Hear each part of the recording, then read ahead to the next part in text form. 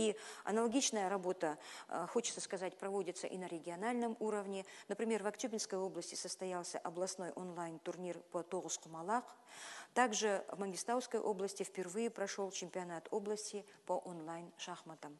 Дорогие друзья, пользуясь случаем, мне хотелось бы поблагодарить всех работников культуры, спорта и сферы туризма за вашу работу, за качественное выполнение поставленных перед нами задач и высокой миссии духовного, интеллектуального обогащения наших граждан в период